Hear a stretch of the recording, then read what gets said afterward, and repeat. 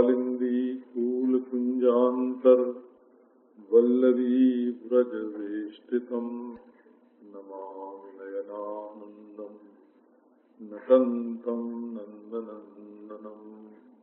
ओ नारायण नारायण नारायण।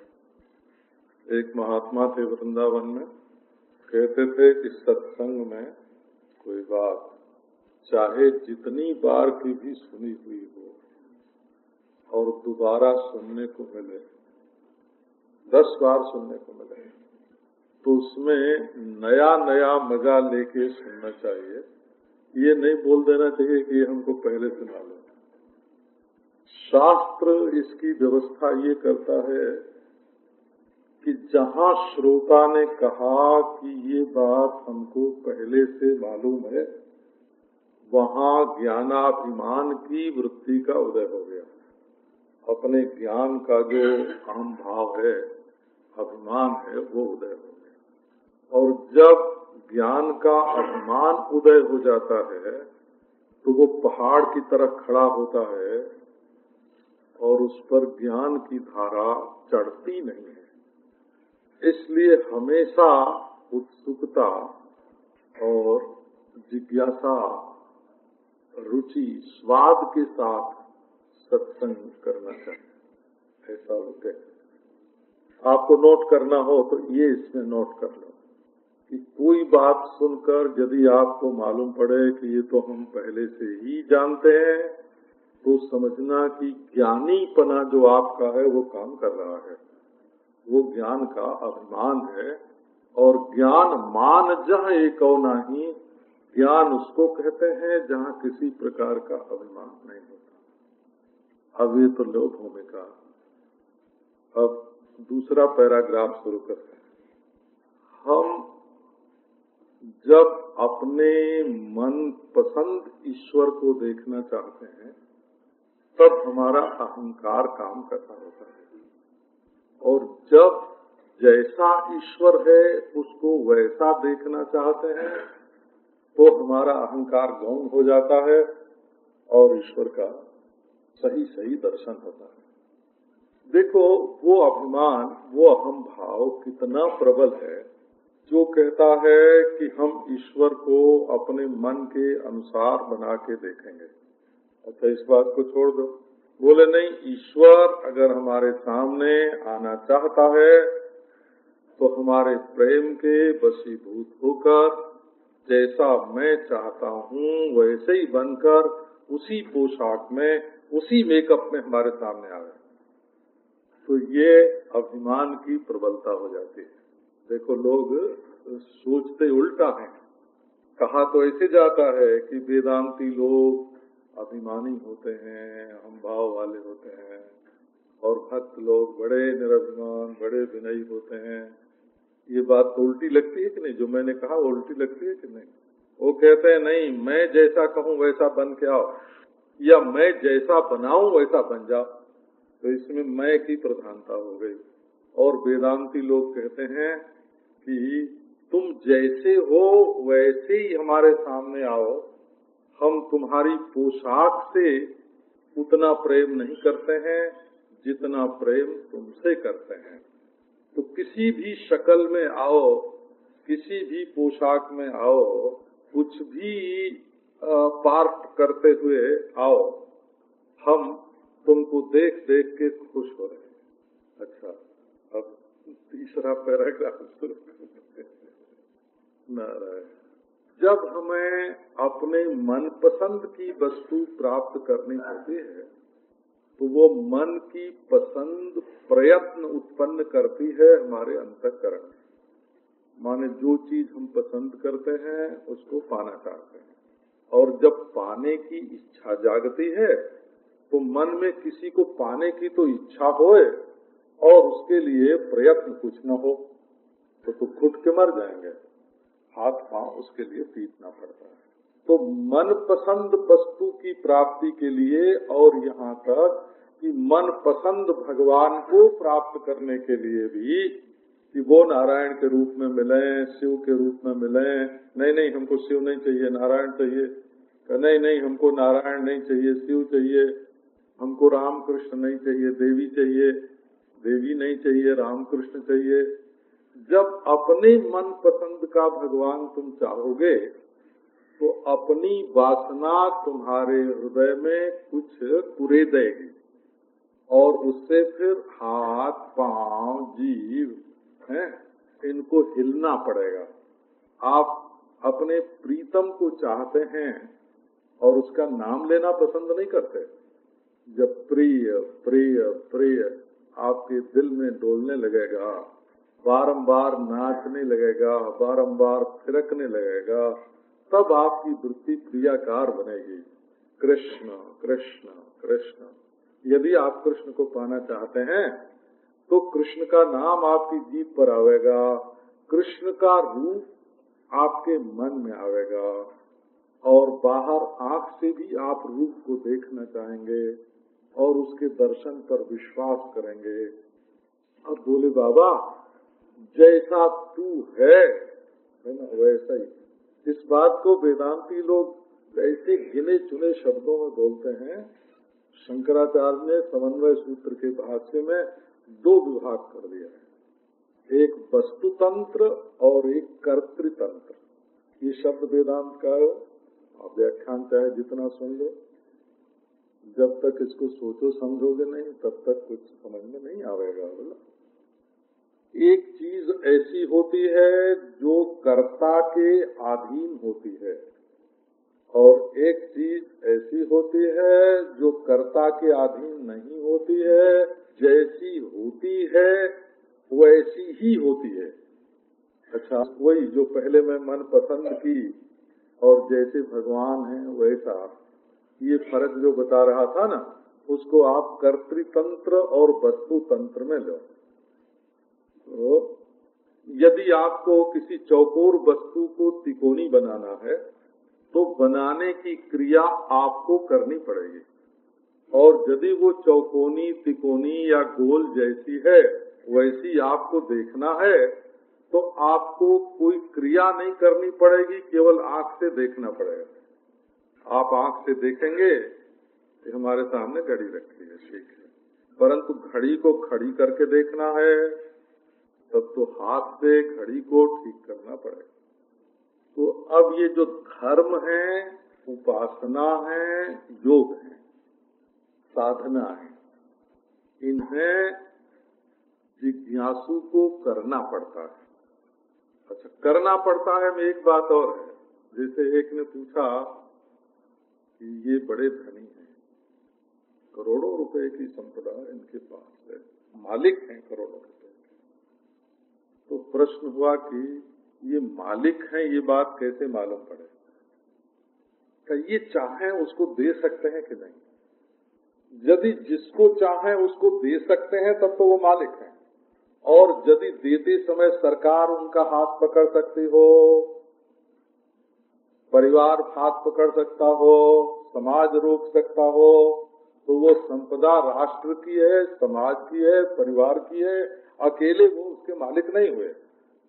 अच्छा जी तो आपने कोई चीज़ कर्म करके, प्रयत्न करके प्राप्त किया है, आप काम करके कोई चीज़ बना रहे हैं, काम कर रहे हैं, कर्ता के अधीन है आपका काम, आप करते हैं तब होता है, परंतु आप उसको छोड़ सकते हैं कि नहीं? एक सवाल ये तो जो जप, जो ध्यान, जो उपासना, जो योगाभ्यास जो साधना आप चाहें तो करें और न चाहें तो न करें और चाहें तो करके छोड़ दें और उलट दें तो वो साधना कर्ता के अधीन है, कर्ता के हाथ में है, वो करने वाले साधक के हाथ में है।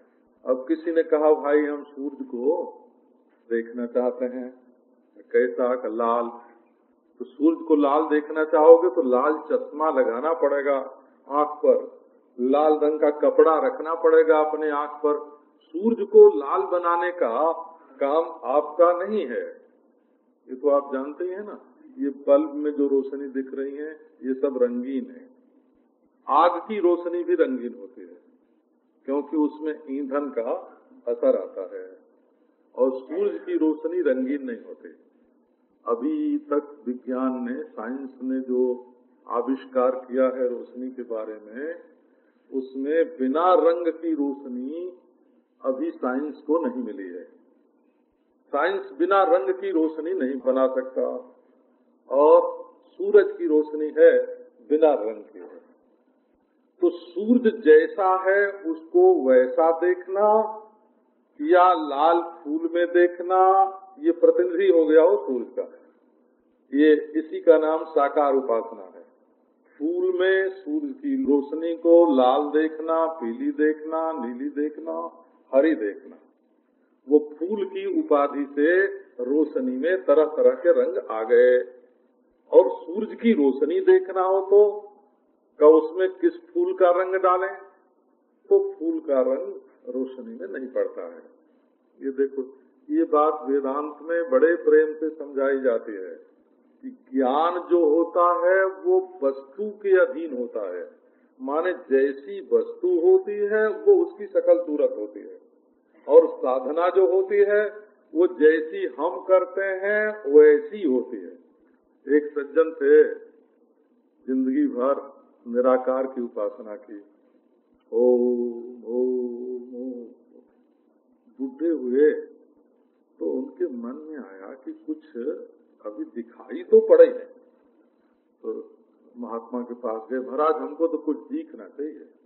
बोले, अरे, तुम क्या निराकार के चक्कर में पड़े हो? आओ, हम तुमको राम राम, कृष्ण कृष्ण बताते हैं। आँखों से ही राम, कृष्ण का दर्शन होता है। बात सच्ची है। इसमें झूठ नहीं है। अच्छा जी तो अब और आगे बढ़ते हैं। पन्ना पलट देते हैं। ये ये वेदांत में ये बहुत अच्छी बात मानी जाती हैं, वो आपको सुना रहे हैं।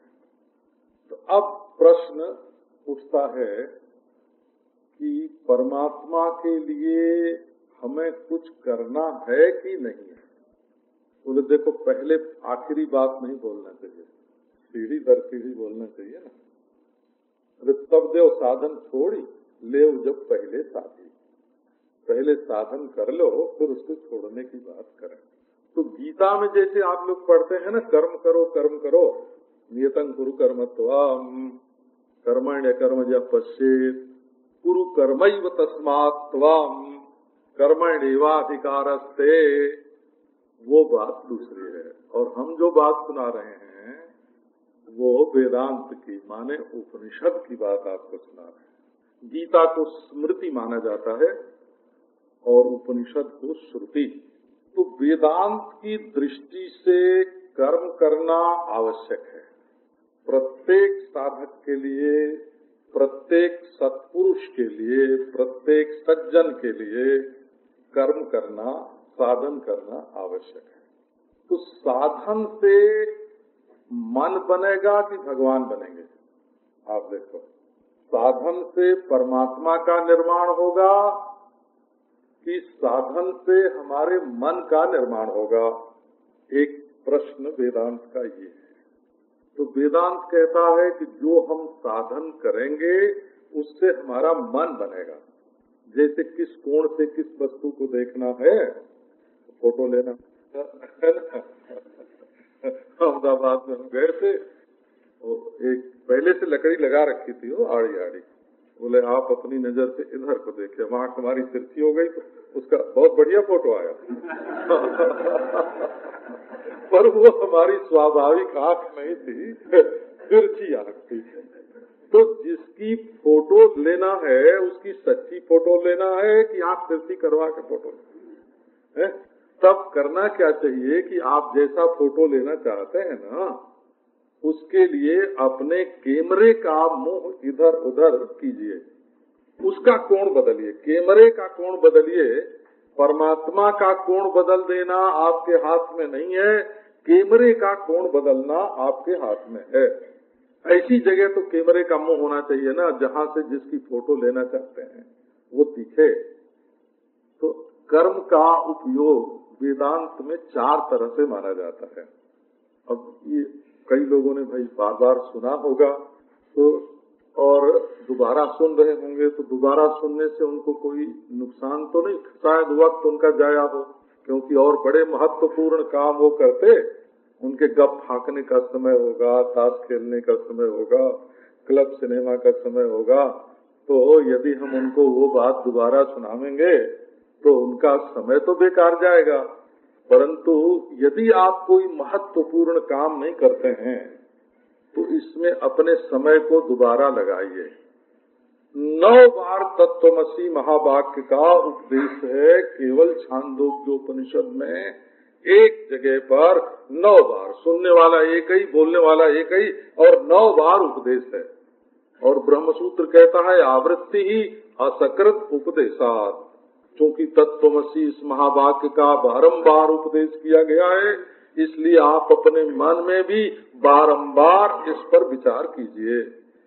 ये बारंबार का विचार मन को बनाता है। तो आज कर्म की बात आपको सुनाते हैं। साधन क्यों किया जाए? बोले, कुछ काम करना चाहिए, वो क्यों? आपके ऊपर कई ऋण है। आपके मन पर कई बोझ हैं। उन बोझों को उतारने के लिए, उन भारों को उतारने के लिए अगर कोई काम नहीं करेंगे, एक कर्जदार आदमी, ईमानदार है और कर्जदार है, कर्ज चुकाना चाहता है, कर्ज का अनुभव करता है, बेचारा कर्ज के बोझ से दबा जा रहा है, अब उसको लेबोरेटरी में ले जाके बैठा दो कि तुम साइंस के अनुसार यहाँ प्रयोग करो, परीक्षा करो, मन उसका चंचल हो जाता है। कभी कर्ज वसूल करने वाला आ रहा हो। तो ये मनुष्य को कर्म करने का, साधन करने का उपदेश क्यों दिया जाता है? जो ऋण है उसको दूर करने के लिए। ऋण क्या है? तो कोई भी बालक, चाहे कितना भी ढीठ हो, उसको ये बात माननी पड़ेगी कि हम माँ के पेट में रहे हैं और माँ ने हमको दूध पिलाया है। पिता ने हमारा पालन पोषण किया है।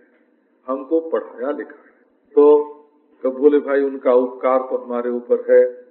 तो यदि उनके प्रति तुम कृतज्ञ हो जाओगे, इसको पितृ ऋण बोलते हैं वो, अनादिकाल से अब तक हमारे पूर्वजों ने जो एक सदाचार की, मर्यादा की, परंपरा का पालन किया है, और उसी मर्यादा में, परंपरा में मैं पैदा हुआ हूँ, और उनकी बिल्कुल उपेक्षा अगर मैं कर दूँगा तो अपनी परंपरा से, मर्यादा से, संप्रदाय से कट जाऊँगा। इसलिए पितृ ऋण उतारने के लिए भी हमारे कुछ कर्तव्य होते हैं। एक, देखो, देवता लोग हमारे ऊपर अनुग्रह, समष्टि से हम कुछ लेते हैं। अगर हवा से हम सांस न लें तो कैसे जिएँगे? सूरज से रोशनी न लें तो कैसे जिएँगे? आग से रसोई न बनावे तो कैसे जिएँगे? जल यदि न लें समष्टि का जल न लें तो कैसे जिएँगे? समाज यदि हमारे ऊपर विश्वास न करे और हमको सुविधा काम करने के लिए न दे तो हम कैसे जिएँगे? तो एक देवता का भी ऋण होता है। क्योंकि हम परिच्छिन्न हैं, शरीर के रूप में टुकड़े हैं एक, कतरे हैं एक, दरिया से हमको कुछ लेना पड़ता है। तो ये देवता का ऋण होता है वो, देवता का ऋण। आप सूरज की रोशनी में देखते हैं, यदि कभी बिल आता सूरज का तो जैसे बिजली का बिल आता है, आप पंखे की हवा में सांस लेते हैं, अगर जैसे पंखे का बिल आता है, ऐसे बाहर की हवा जिसमें आप सांस लेते हैं, उसका बिल आता तो आप इतने तमाशे देख रहे हैं दुनिया में, सिनेमा देखते हैं तो टिकट देते हैं, इस सिनेमा के देखने का कोई टिकट है? कुछ चुकाते हैं? तो मनुष्य को केवल व्यष्टि की दृष्टि से नहीं, समष्टि की दृष्टि से, केवल व्यक्ति की दृष्टि से नहीं, समाज की दृष्टि से। जिसने तुम्हें खेलने के लिए गाँव दिया, जिसने तुम्हें पढ़ने के लिए विद्यालय दिया, जिसने तुम्हें व्यापार करने के लिए क्षेत्र दिया, यदि उस समाज के प्रति तुम कर्म कोई नहीं करते, उसका ऋण नहीं चुकाते तो तुम कृतज्ञ हो और इस कृतज्ञता के पाप के कारण तुम्हारे दिल पर ऐसा दबाव रहेगा कि ठीक ठीक ज्ञान प्राप्त नहीं कर सकते। अच्छा ऋषि ऋण होता है। देखो, जिसने पहले पहल क, ख, ग, इन अक्षरों के उच्चारण का विभाग किया होगा, उसको क्या आप मामूली समझते हैं? ये नहीं, आप ऐसा नहीं है ये। क ख ग, इनके उच्चारण में एक क्रम है। ये ध्वनियों का अनुसंधान करके, ध्वनियों पर संयम करके, समाधि लगा करके किसी ऋषि ने ग, ख, ग का आविष्कार किया है, इसको प्रकट किया है। और वाक्य रचना बनाई है। एक आदमी दूसरे आदमी को अपना भाव समझा सके, अपने दिल की बात दूसरे को समझा सके, इसके लिए किसी ऋषि ने वाक्य विन्यास की शैली बताई है और उसको कैसे समझना चाहिए और सुन करके हम कैसे उसको समझें। अब सोचो, ये जो ज्ञान देने की परंपरा है, शब्दों की रचना है, वाक्यों की रचना है, समझने के लिए इतना बड़ा साधन जिसने हमको दे दिया है जिसने लिपि बनाई है जिसने शास्त्र बनाया है जिसने ये यंत्र बनाए हैं यदि उसी ऋषि के द्वारा तो हम सब कुछ लें और उसके प्रति हमारे हृदय में कृतज्ञता का भाव न हो हम कृतज्ञ हो जाएँ, तो हमारे दिल पर एक बोझ जो बना हुआ है देखो ये इसको ऋणापकरण द्वारा ऋणापाकरण द्वारा अपाकरण बोलते हो ऋणापाकरण द्वारा कर्म तत्व ज्ञान का साधन होता है। वो कैसे होता है? ये धर्म सिद्धांत बताया हमने आपको। बेभार हो जाइए। एक बार हमारे पास पाँच सात साधु रहते थे तो रोटी तो अपने यहाँ बनती नहीं थी। न पैसा था, न रोटी थी। छोटे जी तो ज़रूर होंगे। ये छोटे जी ब्रह्मचारी बैठे हमारे पास बत्तीस वर्ष है। तो कोई मांग के ले आते, क्षेत्र से ले आते, कोई बाबा के यहाँ से ले आते, कोई कैसे कैसे खाता था? तो हम दोपहर को तलाश करते किसने रोटी खाई, किसने नहीं खाई। क्षेत्र में वो बीझर की मोटी मोटी रोटी मिलती थी। हमने बम्बई के सेक्सरियों का क्षेत्र है, उससे रोटी मंगा के खुद तो लेने के लिए कभी नहीं गया। लेकिन अपने इन्हीं लोगों से मंगवा के खाई है। बिहारी जी के क्षेत्र की रोटी खाई है। परमहंस आश्रम की रोटी खाई है। कभी कभी दाल में वो झींगुर निकलता था बड़ा बड़ा तो नारायण, देखो, ये बात है। तो हम फ़िक्र करते हैं। किसने खाया, किसने नहीं खाया। तो एक दिन उड़िया बाबा जी महाराज ने हमको कहा, ओ संतनु, हमको संतनु बोलते थे। अखंडानंद नाम कभी कभी लेते थे, नहीं तो संतनु बोल के पुकारते थे। संतनु, मैंने कहा, महाराज, बोले कि देखो, जिसके पेट में भूख लगेगी, वो पेट भरने के लिए कोई न कोई कोशिश करेगा, प्रयत्न करेगा। तुम काय को फ़िक्र करते हो? अच्छा जिसको खाना है, उसका प्रारब्ध भी है, उसका प्रारब्ध उसके पास भोजन ले आवेगा, खा लेगा वो। ईश्वर उसको देगा, भजन करता है, ईश्वर देगा भोजन। ईश्वर देगा, प्रारब्ध देगा, समाज देगा, वो स्वयं जतन करके खा लेगा। तुम अपने सिर पर ये बोझ क्यों लेते हो? माने बोझ जो है, वो हमारी चिंतन की धारा में बाधा डालता है वो। तो कर्म जब करते हैं, तब हम अपने कर्तव्य को जब हम पूरा कर लेते हैं तो निर्भार हो जाते हैं। और बेभार हो करके संपूर्ण जिम्मेवारियों से मुक्त होकर जब आत्मा क्या है, परमात्मा क्या है, जगत क्या है, मुक्ति ज्ञान से होती है कि कर्म से होती है, इसी जीवन में होती है कि मरने के बाद होती है, इन सवालों पर जब विचार करते हैं, बोझ रहित होकर तब हमारा चित्त बिल्कुल ठीक ठीक विचार कर लेता है। इसलिए ऋण अपाकरण के द्वारा कर्म हमें जिज्ञासा के या ज्ञान के योग्य बनाता है। अब एक दूसरी बात देखो। कर्म हमें कैसे आगे बढ़ाता है? तो हमारे उपासना प्रधान जो लोग, ये धर्म प्रधान लोगों की बात मैंने सुनाई। ये मनु जी कहते हैं कि तीन ऋणों से मुक्त होकर के मनुष्य परमात्मा की ओर आगे बढ़ता है। उपासक लोग कहते हैं कि आओ, आप एक दिव्य पुरुष का ध्यान करो, कर्म करो। कर्म के द्वारा भगवान की आराधना करो। स्वकर्मणा तमभ्यर्च्य सिद्धिम विन्दति मानवा। तमेतम वेदा तमेतम ब्राह्मणा विविदिशंति तमेतम वेदानुवचने न ब्राह्मणा विविदिशंति यज्ञ न दाने न तपसा अनाशके न ये श्रुति है वो उपनिषद है, और इस पर ब्रह्म सूत्र है। सर्वापेक्षा यज्ञादि श्रुते है, अश्ववात। देखो, आज आपको वेदांत की बात सुनाता हूँ। वो नित्यम शुद्धम बुद्धम वाली हम ब्रह्मास्मि वाली ये बात नहीं है। ये हमारा वेदांत शास्त्र इस ढंग से विचार करता है।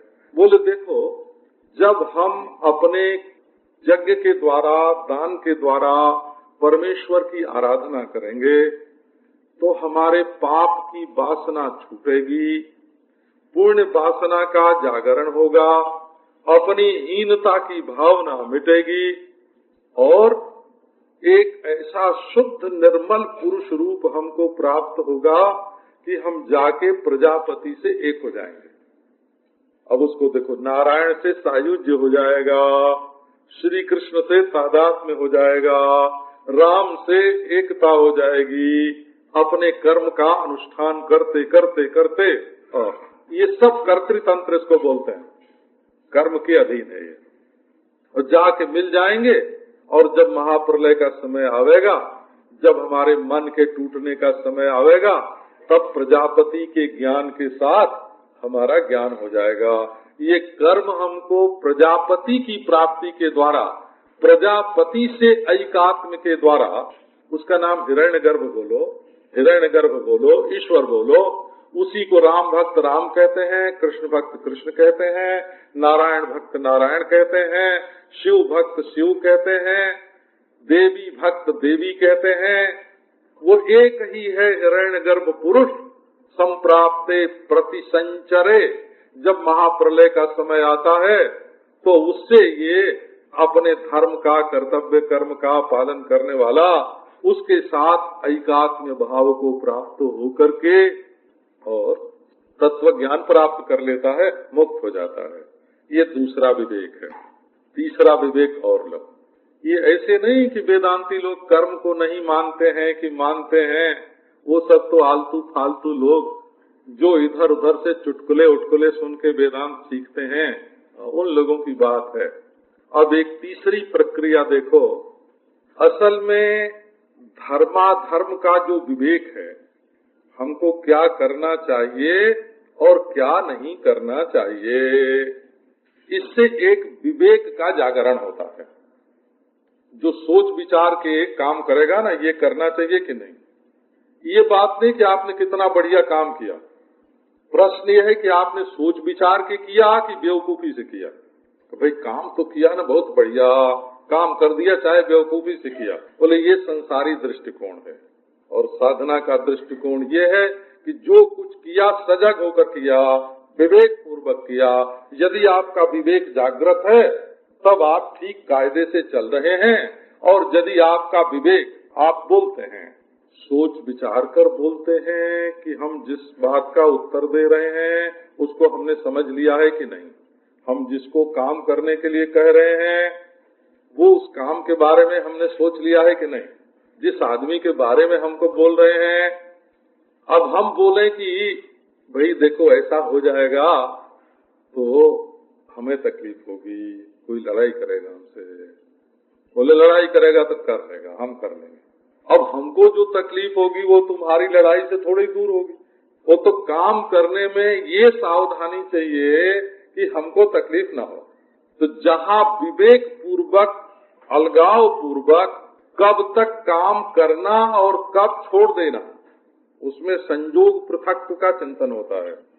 कब काम करना और कब छोड़ देना, दोनों बात होती है। काम करना भी होता है, काम छोड़ना भी होता है। बात कहना भी फ़ायदे का होता है और चुप रह जाना भी फ़ायदे का होता है। तो जब विवेक पूर्वक विचार करके काम करेंगे, तब विवेक का जागरण होने लगेगा हो उसमें फ़ायदा ये नहीं है कि काम पूरा हो गया। उसमें फ़ायदा ये है कि हमारी समझदारी जाग रही है। समझदारी जगाने के लिए क्या काम कब कहा, कैसे, किसके प्रति करना, ये सोच विचार कर काम किया जाए। तो इसमें कर्तव्य कर्तव्य, धर्म और अधर्म का विभाग हो जाता है।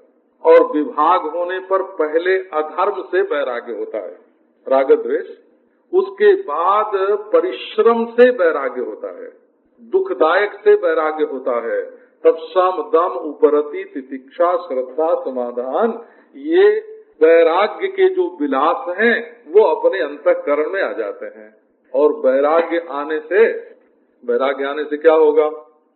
दुनिया की जो दिलचस्पी है, राग द्वेष जो है, इनसे दुश्मनी करके आप तो हम बच्चों को समझा देंगे, ठीक कर देंगे, बच्चों को ठीक कर देंगे। अब बच्चों को ठीक करने गए तो सत्य भूल गया, परमार्थ भूल गया, ईश्वर भूल गया, अपना आप भूल गए। तो मोहब्बत के चक्कर में पड़ गए। तो नफरत और मोहब्बत, राग और द्वेष, इनसे वैमनस्य, इनसे मुक्त होकर के ही मनुष्य तत्व ज्ञान प्राप्त कर सकता है। तो धर्म और अधर्म का जो विवेक है, ये अंत में अपने को विविक्त करके असंग बना देता है। और असंग होने से योग की जो स्थिति है ना कर्म करते करते योग की स्थिति समाधि प्राप्त हो जाएगी, कर्म करते करते समाधि लग जाएगी। तो ऋण अपाकरण के द्वारा, हिरण्य गर्भ सर्वात्म भाव से तादात्म्य के द्वारा, अंतकरण शुद्धि के द्वारा, और एक प्रक्रिया और है इसकी। वैसे तो भगवान नई नई बात नई नई प्रक्रिया भेजते रहते हैं। एक प्रक्रिया आपको इसकी और सुनाते हैं। इस समय सुनाने के लिए उसको बोलते हैं कर्म प्रतिबाधन द्वारा। कर्म प्रतिबाधन द्वारा तत्व ज्ञान में मददगार होता है। ये देखो हम सब कर्म परो, कर्म पक्ष, कर्म वेदांत में कर्म का कैसे उपयोग होता है, वो बात आपको सुना रहे हैं। यज्ञ न दाने न तपसा अनाशके न कर्म का कैसे उपयोग होता है वेदांत में? तो कर्म के द्वारा आकृतियाँ बनती हैं, तत्व तो नहीं बनता। ये आपको मालूम है कि नहीं? जैसे आप लकड़ी में घे लकड़ी को तो वो एक तरह की गोल बन जाएगी, लंबी बन जाएगी, औरत बन जाएगी, मर्द बन जाएगी गढ़ने से। लकड़ी पहले से रहती है और गढ़ गढ़ के आप उसमें सकल सूरत बना देंगे। इसको प्रतिबाधन प्रक्रिया बोलते हैं। तो क्या होता क्या है? कि ये जितनी शकल सूरतें हैं दुनिया में, ये लकड़ी की तरह या पत्थर की तरह या माटी की तरह तत्व नहीं है। आकृतियाँ जितनी हैं, वो सब कर्म की गढ़ी हुई हैं और कर्म का वेग छीण हो जाने पर घिस जाते हैं।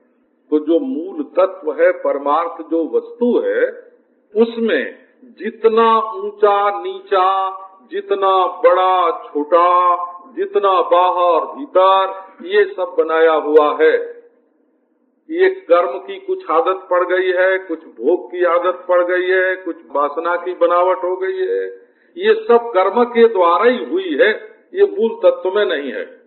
तो आकाश में चाहे जितनी भी नीलिमा दिखे, हमारी आँख की न्यूनता से आकाश निर्मल है। इसी प्रकार कर्म के द्वारा बनाई हुई जो आकृतियाँ हैं वो न पहले थी, न बाद में रहेंगी, और बीच में मिथ्या ही दिखाई पड़ रही हैं।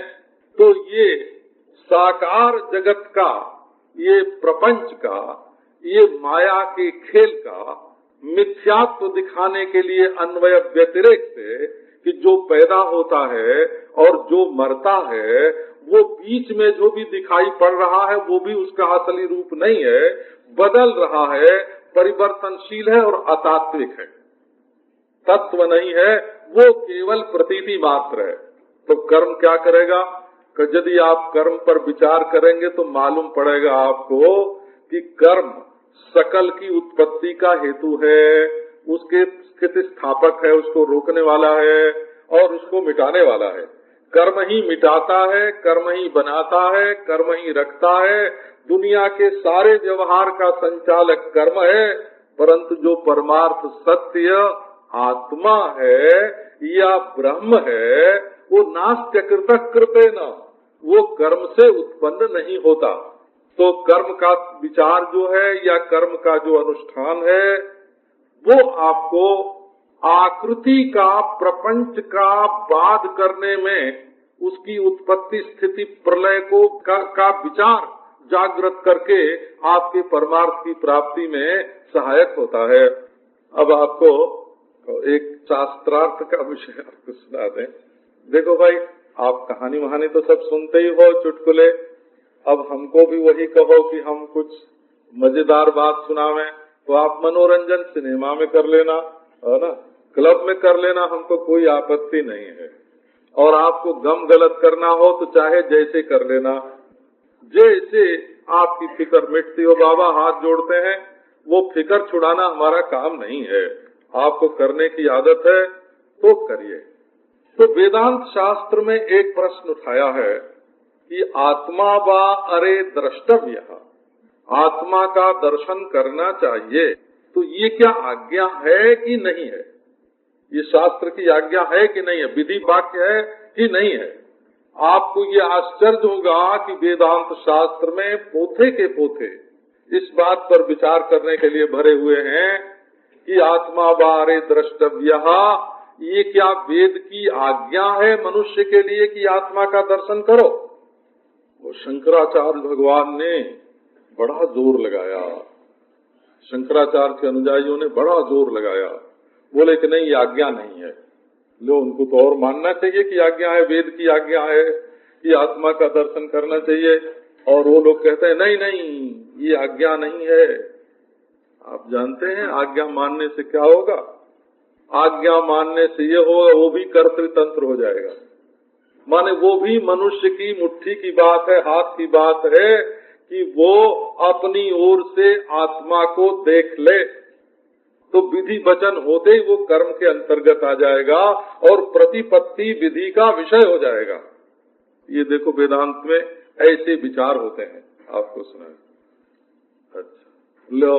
प्रतिपत्ति विधि का विषय हो जाएगा, वो भी वो भी सच्चे वेदांत के अंतर्गत नहीं रहेगा। तब ये क्या है? ये कहता है कि जो तुम अनात्मा का दर्शन कर रहे हो, तुम अपनी तलवार ककड़ी पर मारते हो, कट जाती है। कर्म से तुम लाल, काला, नीला, पीला, अपना पराया माँ बाप रिश्ता नाता बनाना चाहते हो, वो कर्म से बन जाता है।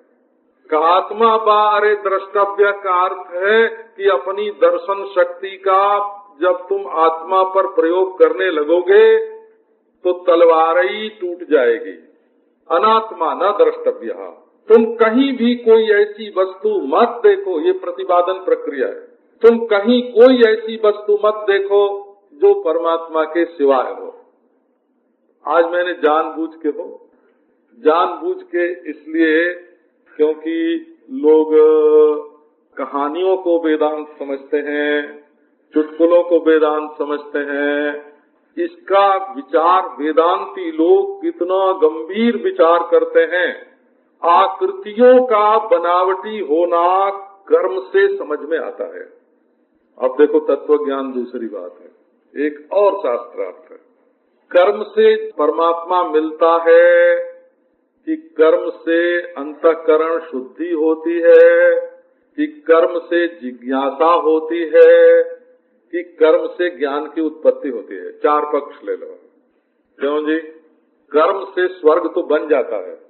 कर्म से हो धर्म खूब बढ़िया बढ़िया यज्ञ करें और यज्ञशाला में बैठ के देखा इंद्र देवता, अग्नि देवता, वायु देवता और ऐसा मंत्र और ऐसा वेद और ऐसा विद्वान और ऐसा जजमान देखते देखते कर्म करते करते स्वर्ग, गोलोक बैकुंठ साकेत, कैलाश, देवी का धाव सब बन जाता है और हम वहाँ के सदस्य बन जाते हैं। कर्म करते करते बोले, कर्म से परमेश्वर बन जाता है। ऐसा भी सिद्धांत है। लो भाई, अब दूसरी बात देखो। कर्म से कामना की पूर्ति होती है, एक बात। तो कामना की पूर्ति होती है, तब भी सत्य के दर्शन में साधन नहीं हुआ। तो कर्म से अंतकरण शुद्धि होती है वासनाओं की मर्यादा बन जाती है। तो वासनाओं को मिटाने के लिए, अंतकरण शुद्धि के लिए कर्म की ज़रूरत पड़ती है। अब कर्म से विद्या ज्ञान होता है। ऐसा भी एक सिद्धांत है। ये क्या नाम है? इसमें भामती प्रस्थान का और विवरण प्रस्थान का मतभेद है। एक प्रस्थान मानता है कि केवल श्रवण से ज्ञान नहीं होता। श्रवण के बाद मनन मनन के बाद निधिध्यासन। ये मिश्र प्रस्थान बोलते हैं। माने मंडन मिश्र और वाचस्पति मिश्र। ये दोनों मिश्र ये सिद्धांत मानते हैं कि बिना निधि ध्यासन के ज्ञान नहीं होगा। और एक उसकी पोल आपको सुना देते हैं, पोल पट्टी। निधि ध्यासन को वो कर्तृतंत्र नहीं मानते और विवरण प्रस्थान में मानते हैं कि कर्म से तत्व ज्ञान हो जाता है।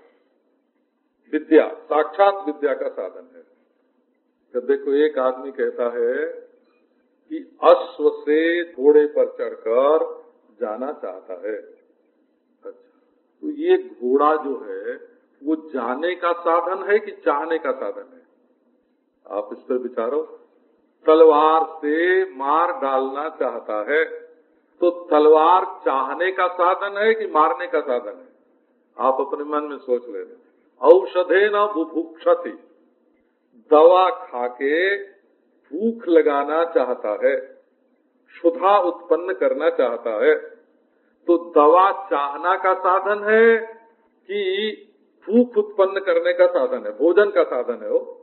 तो असल में दवा अधिक भोजन करने का ही साधन है। इसी प्रकार ये जो कर्म है, ये अंतकरण शुद्धि के द्वारा, अंतकरण शुद्धि माने बैराग, अंतकरण शुद्धि माने और कुछ नहीं होता। आपकी दिलचस्पी दुनिया के बारे में सोचने की न हो पड़ोसी उनकी बहू कैसी उनकी बेटी कैसी ये सोचने में आपकी दिलचस्पी न हो आ, वो कैसे वो कैसे ये सोचने में न हो परमात्मा कैसा है आत्मा कैसा है ये विचार करने में आपकी दिलचस्पी हो जाए तो अंतकरण शुद्ध हो गया कर्म इसी के लिए किया जाता है। और या मलापकरण का अर्थ ये होता है कि अपना आत्मा नित्य शुद्ध बुद्ध मुक्त है। यहाँ तक कि श्रवण मनन निधि ध्यासन के द्वारा भी। हाँ, अज्ञान संशय विपर्जय रूप मलापाकरण ही होता है। विद्या विद्या को दूर करके ही चरितार्थ होती है ऐसा वेदांत का सिद्धांत है। आप देखो भाई अब आज तो महालक्ष्मी आ रही है आपके घर में दिवाली आपका घर शुद्ध रहेगा ना? ये अलग अलग अलग अलग दिया जलाना माने, आप समझते हैं। आपके हृदय में दीप की ज्योति के समान लव के समान, दीप कलिका के समान एक जीवात्मा की ज्योति प्रज्वलित हो रही है। उसमें वासना का घी पड़ा हुआ है। उससे जन्म जन्म की परंपरा से एक बत्ती जुड़ी हुई है और उसमें चैतन्य का एक दिया प्रज्वलित हो रहा है। ये अलग अलग अलग करोड़ों, हज़ारों दीपक के रूप में सबके हृदय मंदिर में एक एक दीपक प्रज्वलित हो रहा है। ठीक है? आज जला लो उसको। महालक्ष्मी आवेंगे सुन, सुनते हैं कि एक गाँव में लक्ष्मी जी आई दिवाली के दिन। तो उन्होंने देखा जिस घर में दिया जलता होगा उसमें जाएँगे। अब गाँव था गरीब, उसमें दिया ही नहीं था किसी के घर में। ढूंढते ढूंढते एक बुढ़िया के घर में दिया मिला। सबका दिया बुझ गया है वो, ऐसा समझना। हाँ कोयले से ढक गया है। उन्होंने देखा जिसके घर में दिया जलता होगा, जाएँगे, जाके बुढ़िया का दरवाज़ा खटखटाया। तो मैया मैं आई हूँ, दरवाज़ा खोल। तो बुढ़िया बोली कि बेटी है कि बहू है? तो लक्ष्मी जी बोली, तेरी बेटी होके आई है। तो बोले कि तब तुम्हारे लिए दरवाज़ा नहीं खुलेगा, घर में आओगी, फिर चली जाओगी। बेटी पराया धन होती है, तुम लौट जाओ बाहर। बोली कि अरे मैया गाँव में तो किसी के घर में दिया ही नहीं है। तुम्हारे घर में दिया है तो मैं तुम्हारे घर में रहूँगी। कैसे रहोगी? कि बहू होके रहूँगी। तब आ जाओ तो बहू के बहू के रूप में लक्ष्मी को, बहू के रूप में लक्ष्मी को उसने अपने घर में रख लिया। अब देखो वेदांत क्या है। ये जो अलग अलग अलग अलग जो ज्योति जलती है ना, ये तो विद्या लक्ष्मी का आवाहन है। इससे विद्या लक्ष्मी आती है। जब आपकी आत्मा निर्मल होकर प्रज्वलित होती है, प्रकाशित होती है। और सब ज्योतियों में जो एक ही प्रकाश है, एक पाठ आपको बता देते हैं। ये पुस्तक दिख रही है प्रकाश में, रह रही है आकाश में। इसका उपादान है पंचभूत, और इसकी संबिध हो रही है, आत्मा के रूप में इसका ज्ञान हो रहा है। यदि आप प्रकाश का चिंतन करेंगे तो भक्त हो जाएँगे। और यदि आकाश का, यदि आकाश का चिंतन करेंगे, शरणागत हो जाएँगे। यदि आप उपादान का चिंतन करेंगे, जोगी हो जाएँगे। और यदि आप संबित का चिंतन करेंगे तो वेदांत ज्ञानी हो जाएँगे। और यदि केवल आप पुस्तक को ही देखेंगे तो संसार में व्यवहारी होकर के रहेंगे। केवल किताब देखना किताब को दिखाने वाली रोशनी देखना, जिसमें किताब रह रही है वो आसमान देखना, जिस मैटर से ये बनी है वो मैटर देखना और देखना देखना। ये इसके विभाग होते हैं। आप वेदांत को, बच्चों का खेल मत समझना। ये दिमागी फितूर नहीं है, ये बुद्धि का व्यायाम नहीं है। एक साथ है। अच्छा जी।